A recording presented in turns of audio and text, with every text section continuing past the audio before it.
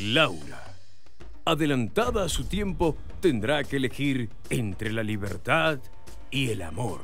¿Te gusta escribir? ¿Quieres ser profesora? Eso, usted no tiene Yo derecho. no entiendo por qué el casamiento debe ser el destino natural de la mujer. Nosotras somos capaces de mucho más.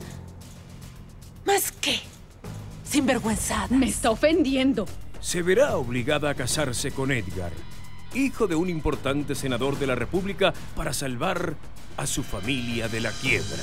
Tú tienes obligaciones con nuestra familia, con nuestro linaje.